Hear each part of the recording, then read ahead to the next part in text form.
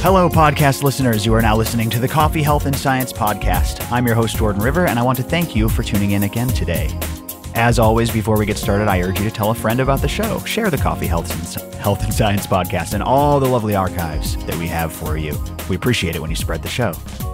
Today, we are on the line with Dr. Coffee. What's up, Dr. Coffee? Hey, hey, it's another day above ground living the dream, my friend. Absolutely, man. That actually ties in well with what we're talking about today. You know what I mean? We are above ground. We are, in fact, living the dream. I wanted to talk about a subject that's come up before on this podcast. It's a very hot topic, pardon the pun. Oh, I'm excited. What is it? It is something that is known as flow or flow states.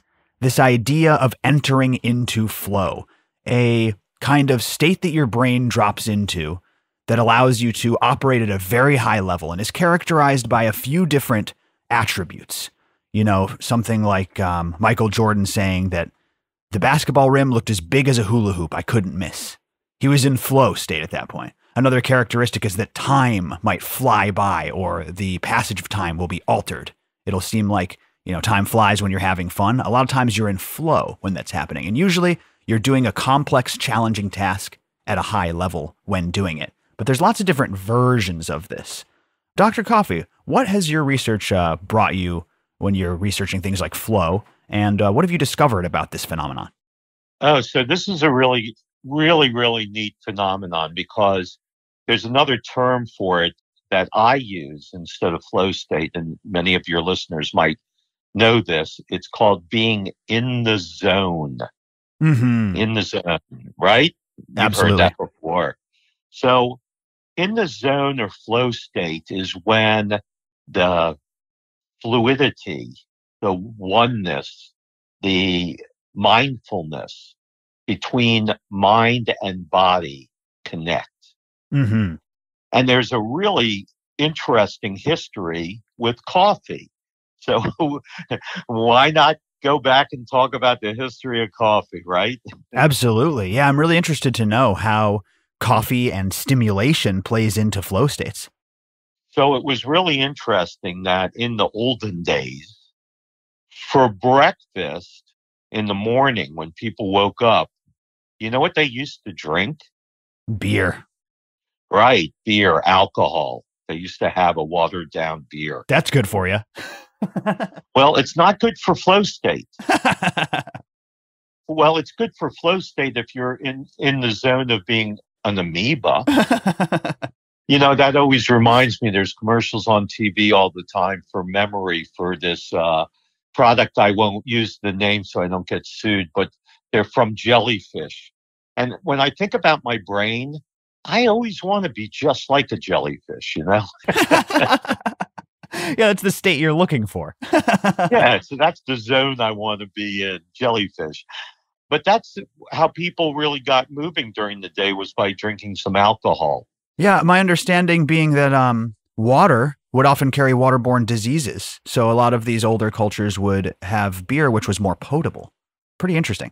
Yeah, exactly. Exactly. And then along came coffee, Mm-hmm. and coffee had caffeine and it woke you up. So they were the original, not to fight with any Republicans, they were the original woke culture. well, I, I can imagine a world where everyone's going from drinking beer first thing in the morning to uh, drinking coffee. I know Michael Pollan had a had an article recently come out on this and how that changed our ability to work and produce and flow. So I think that's what you're leading to. Absolutely. It is what I'm leading to. Picture that you were a musician or a dancer or a carpenter back in the day, and you would start your day by drinking beer and figure out whether or not you could really do a great job of your of your mind body balance. I honestly can't imagine as someone who does not drink. And, and like you said, I know they watered it down, right? They would water down wine and that would make it easier, but still, you're getting drunk first thing in the morning. And then, like you said, you got to go perform your tasks. Probably a totally different vibe of society. Oh, absolutely. You know, I, I've said this before. I'm an older guy, so I wasn't born with a computer in my hand. But the human brain has always been of interest to me. So let me put it into perspective of what some of your tech people will know, we can process about 130 bits of information per 2nd Mm-hmm. That goes up in flow. It goes down in mind changing events like inebriation. When the Dalai Lama talks about mindfulness, he's really talking about being 100% focused and having your mind body work together, which is being in the zone. And what happened was caffeine and coffee came into the world. There were actually groups and people threatened by the fact that people were now thinking smarter and able to concentrate better and to engage better and had more energy during the day. And that threatened them. So there were cultures in which coffee was made illegal. Yeah, absolutely. We can go back to this show and listen to some of the times that coffee's been illegalized. We did a whole coffee history on it. And Dr. Steve, it kind of points to that uh, kind of conspiracy theory mindset, which is you're absolutely right. These coffee houses were a place for people to discuss political dissent and things like that. And the status quo didn't like that. So they would illegalize it. That is very, very true. Exactly, exactly. But that has changed. And for most of the world, coffee is now legal and coffee is being drunk instead of beer making you drunk. Coffee is being drunk. And we get into a flow state where we're able to do fully immersed things. That's the best way I can describe it. So you're a hundred percent in what you are doing. And that would be being in the zone in the flow state. And we see it in high performing people like mountain climbers. I saw a uh, Netflix or one of the programs on the internet had this uh, movie about somebody who was in the zone climbing freestyle. Yeah. And it was just incredible watching that. Man, I mean, there's so many different forms of this, right? Many that frighten me, but I think we've all experienced it on a different level. You're saying that you think that coffee and caffeine and this stimulation goes hand in hand with, I'm sure that too much would be an imbalance, right? But it seems to kind of optimize at a certain level. Absolutely. So, you know, one to two cups in the morning of a good brewed coffee, let's say like a purity coffee, which is still my favorite coffee. Yeah, buddy. So something like that really helps you open the door for flow state for being in the zone. And then if you will self actualize yourself into whatever you're doing, if you'll be there at 100%, you can really get into the zone much easier. So there are people that can get into the zone. It takes work. Like I know a famous grandmaster chess player. When he plays, he's in the zone. He talks about it and it's easier for him to get in than the newbie because he's been immersing himself for so long. Right. Caffeine helps open the door for us to do that. Wow. That's insane. And that does make a lot of sense. You're right. When you're used to dropping into that state, again, back to like Michael Jordan, you could see when he would when he would turn on in a game when he was playing with the Bulls dream team. You know what I mean? And it's almost like a it's almost like a switch gets flipped. Yep. Exactly. I love it, man. So there are a couple of things your listeners may want to know. First of all, about meditation and mindfulness. And I know I've offered before, and I can't believe the number of people from the podcast who have written me and asked me to send them things. And I hope everybody is enjoying, but there's just been an incredible number of people asking. So I do have something I've written on mindfulness. Nice. It's a five minute guide to mindfulness and meditation. And it, with a cup of coffee, can help you get to being in the flow quicker than not coffee and not mindfulness alone. I love this. Uh, maybe throw out your your new, brand new email. If anyone wants to reach out to Dr. Coffee, uh, grab yourself this resource or some of the other resources that you've heard about. What's your email, Dr. Coffee? Doc, D-O-C, at myhealthypatient.com. Nice. And you can reach Dr. Coffee there. He's always so generous uh, answering your emails, guys. And you guys are awesome when you write in. I do love that. Again, we'll have some more to say on that in a minute. But yeah, let's let's finish up here on the coffee and flow state riff. Yeah. So the other thing that I have, which I'd like to go over today, is the barrier. So, you know, we live in a world where our mind is just being bombarded by the outside world. We get hundreds of texts a day and calls a day, and we're constantly looking at Facebook and other social media. And so I want to talk about the problem of procrastination and the lack of flow state that is present for somebody who does not take an active form in getting themselves into flow state. So, in order to get yourself in the zone, the first thing you do is you need to identify why you procrastinate. Mm-hmm. As Steven Wright, the comedian, said, he had a friend that got a birthmark at age seven, and he knew he was a procrastinator. so, you have to identify why you procrastinate. So, I'm going to give your readers a couple of things on our checklist. One, you're scared of failure, change, or negative feedback. Mm-hmm. Two, you get panic attack, anxiety, or overwhelm. Oh, yeah.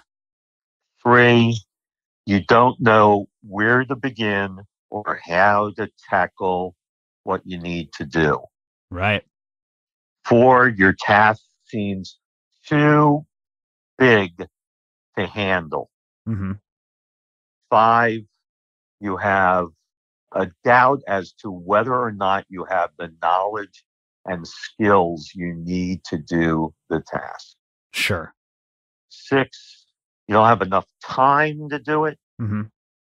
Seven, you're either mentally or physically distracted and can't focus. Mm-hmm. And then last is you lack motivation or energy. That's an interesting list. You know, you talk about our current state of society, and I think about all those, and really number two, like we've all had the thought that we might fail. Like that's a human tendency. So we've all had the thought that we might not have the skills to do the job. That might actually be true. But the one that seems to be really bad in, in 2022, probably a lot to do with technology and social media and things like that, is the second one you said. This generalized anxiety combined with the one you said about overwhelm. I think that that's really where people get spun out the most. Maybe I'm wrong about that, but but that seems to be kind of piled on by today's modern stimuli. Yeah, you know, all of them lead into each other. It's really they all handshake with each right, other. But that's true. In in order to figure it out as to where to start, that's a great list because it helps you check off, okay, here's where I'm stuck. And it gives you a starting point. The problem with so many people is that everything goes into their to do basket rather than into the done basket. Yep. So we're constantly working with a three basket life inbox, outbox, and to do. And we just move our inbox into the to do list and it keeps growing and growing and growing. So the way to tackle that is to create a schedule or a to do list. And in your to do list, you want to make sure that you separate out the things that are being handled by somebody else that you're just managing and the things that you need to handle. Right. So the things you need to do and the things you need to manage. And by putting them in two separate lists, you don't feel as overwhelmed. And the thing to then do is to start working on the things that you're in charge of, mm-hmm. the things that you have to. You make SMART goals, S M A R T. I have a whole write up on this that I'd be glad to send people as well. If anybody wants to get out of their stuck procrastination state, just send me an email to doc at myhealthypatient.com and say, help me get unstuck and I'll send you stuff.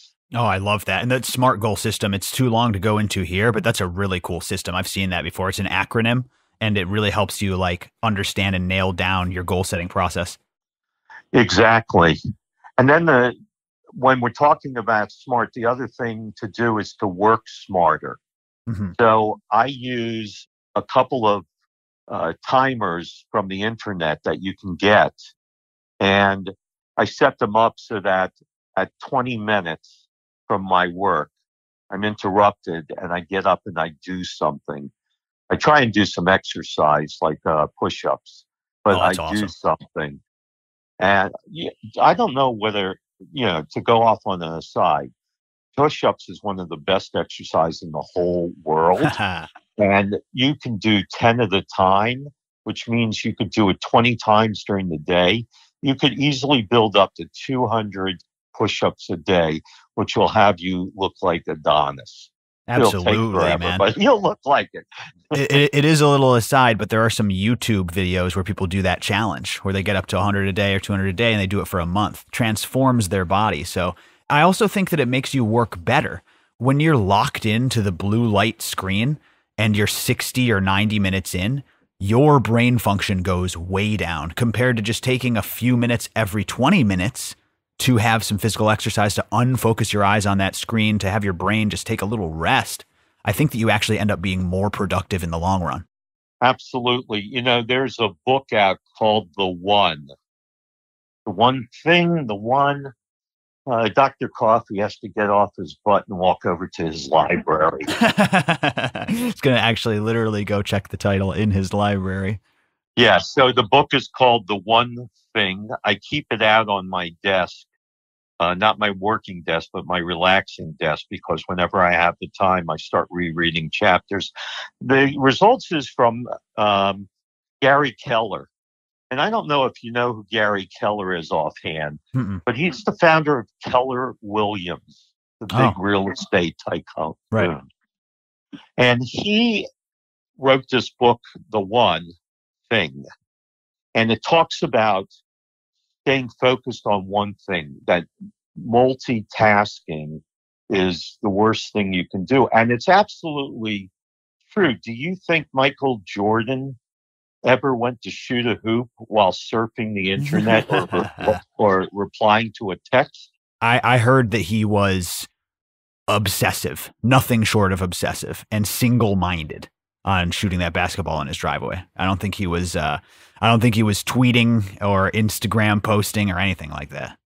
Right. So if you want to read a guy who became a self made billionaire, Gary Keller, The One Thing, phenomenal book. I have talked about the morning meditation before, and I want to leave this conversation reminding people that if you get up, you drink your glass of water, you use your bathroom, you walk over to your coffee maker and you spend the next five minutes making your coffee while saying your affirmation or your mantra for the day, and then sit down and drink that first cup of coffee, you have started your day leaps and bounds above anybody else in this world, except maybe people who are sitting in caves meditating for 20 hours a day. So I want to remind you all to do that. And if anybody is really stuck, you know, I play coach for a lot of high level people, but there may be an, uh, a time if you use the code word purity that I would do some coaching for any of your listeners. oh, that's awesome, man. There you go. I'm sure that people would absolutely love that. Yeah. Listen, an awesome episode. I love the link between procrastination and flow state, eliminating the barriers to this flow, you know, phenomenon that we can achieve. It's really, really cool. If this episode sounds like kind of uh, an epilogue or a closure, it's because it is, folks. We are going to be going on a hiatus. The Coffee Health and Science podcast will be on a indefinite hiatus. We'll most likely bring the show back, but yeah, I did want to drop this a little bit bittersweet here it's been so great producing this show. And this definitely isn't the end of me and Dr. Steve, uh, Dr. Coffee. And like I said, probably not the end of this show, uh, as we will be producing more content down the road. But you're not going to see the weekly episodes like you usually do. If you enjoyed this show, if you got something out of the show, if you got turned on to Purity Coffee, for instance, and you loved the coffee, I would love for you to do me a favor. I don't think I've asked the audience anything in the history of this show. You could write an email to support at puritycoffee.com and just share your love Say that you heard about them on the show. Say that you enjoyed the show. Uh, say you'd want to hear more of the show. Whatever you want to do, just share the love with uh, with the head honchos, and uh, it's all good. We're definitely going to have more content down the road, but the weekly drops are going to be put on hiatus. I just can't express my love enough for you guys, Doctor Coffee. It's it's a little bit bittersweet, no? You know, we're still around, and you and I will probably be doing some kind of podcasting for my healthy patient, I'm sure. Oh yeah. So, you know, I've come on this thing uh, and tried to be real with all of you and tried to be open and helpful. And everybody has sent me nice letters and emails and asked me for books I've written. And, you know, we've just sent them out. And I, I hope I have been able to make a difference in your life. That's incredible, Dr. Coffee. That's why I love doing it with you. And this this has been a really great journey. There's still more to be done. Um, but sometimes these projects need some time to breathe as well. So again, I really hope that uh, you're not too sad, listener. And like I said, send some love. Send an email to support at puritycoffee.com and uh, tell them tell them that the Coffee Health and Science podcast made a difference or turned you on to their awesome coffee. And that would really mean a lot to me. Definitely stay, stay subscribed to this feed because we'll be dropping updates if we do a new project. Um, like I said, if we start releasing some new episodes down the road, maybe a monthly release schedule is in order. So definitely stay subscribed to this podcast. But we are going on a brief hiatus. And one more time, thank you and I love you to each and every one of you coffee listeners.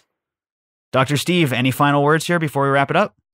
Just remember, it's another day above ground, living the dream. I love it. Everybody out there, have an extraordinary day. We will see you another time here on the Coffee Health and Science Podcast. Bye bye, everybody.